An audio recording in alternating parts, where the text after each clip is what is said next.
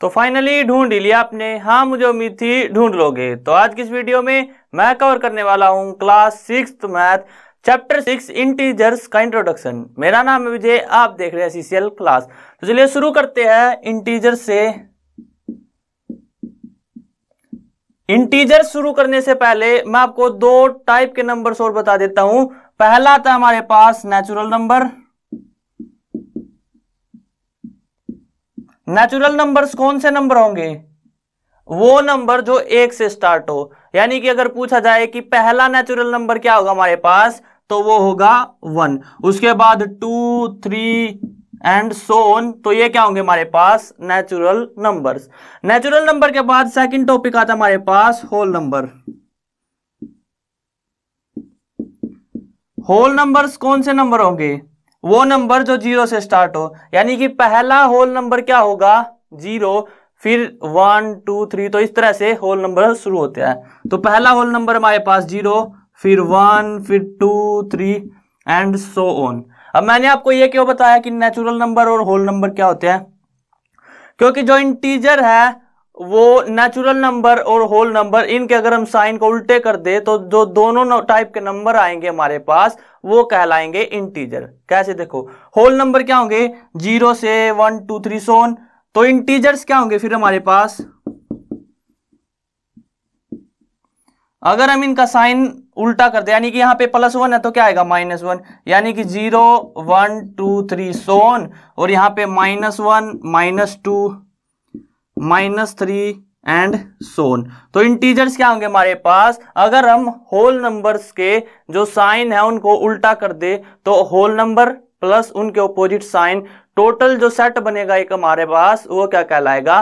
वो कहलाएगा इंटीजर्स अब आपको पता चल गया कि इंटीजर क्या होंगे? अब देखते हैं इसकी रिप्रेजेंटेशन कैसे होगी नंबर लाइन पे।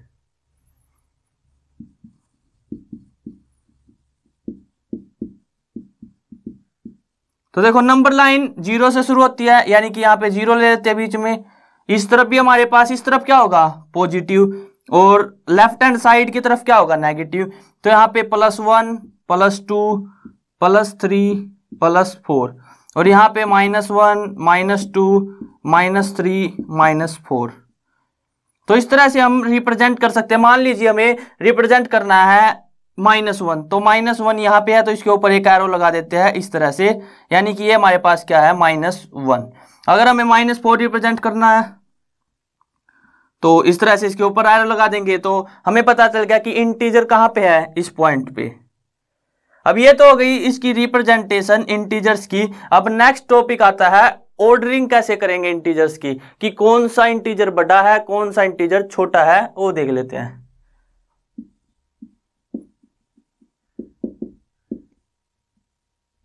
देखो पॉजिटिव साइड तो आपको पता ही है कि पॉजिटिव चार बड़ा है पॉजिटिव तीन से पॉजिटिव पाँच बड़ा है पॉजिटिव वन से टू से थ्री से, ये तो पता ही है आपको। लेकिन नेगेटिव साइड में क्या होगा? जो ज़ीरो के नज़दीक होगा, यानी कि the number which is closer to zero is biggest among the given numbers यानी कि अगर आपको सारे नेगेटिव नंबर दिए हुए हैं तो जो ज़ीरो के करीब होगा, नज़दीक होगा, वो क्या कहलाएगा? वो उनमें सबसे बड़ा कहलाएगा। जैसे जैसे आपको बताना है क्या? कि माइनस थ्री और माइनस फोर में से कौन सा नंबर बड़ा बताओ? माइनस थ्री क्या? ज़ीरो के क्लोज माइनस फोर के कंपैरिजन में तो माइनस थ्री क्या होगा? बड़ा होगा माइनस फोर से। तो इनमें बड़ा कौन सा होगा? बिगर माइनस थ्री और स्मॉलर क्या इनमें? माइनस फोर इसके लिए एक साइन भी रिप्रेजेंट करते हैं हम। कैसे? देखो, एक साइन होता है ये और एक साइन ये। ये क्या होता है? ग्रेटर देन यानी कि माइनस थ्री क्या हमारे पास? ग्रेटर है माइनस फोर से। और यहाँ पे क्या होता है? लेस देन तो माइनस फोर क्या है? कम है माइनस थ्री से।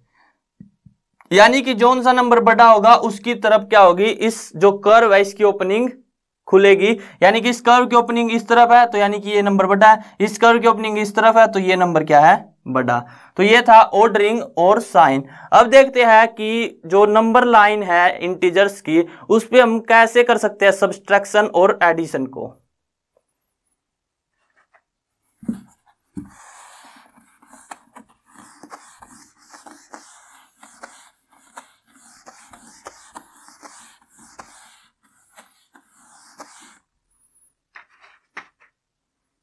सबसे पहले एग्ज़ाम्पल लेते हैं सब्सट्रैक्शन का।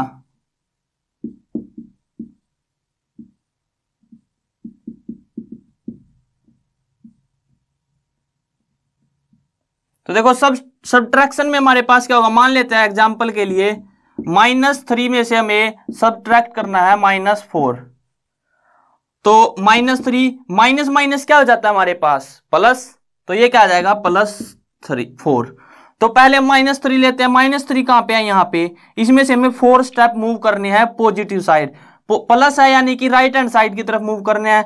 तो one step two step three step और फोर स्टेप तो हम कहाँ पे पहुँच गए? देखो थ्री से हम गए टू पे।